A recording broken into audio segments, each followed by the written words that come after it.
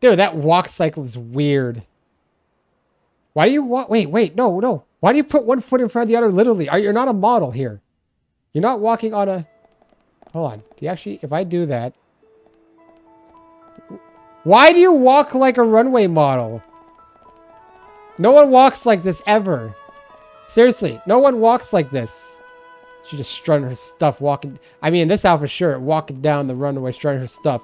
Watch out, man. Me and the gang are looking sexy over here.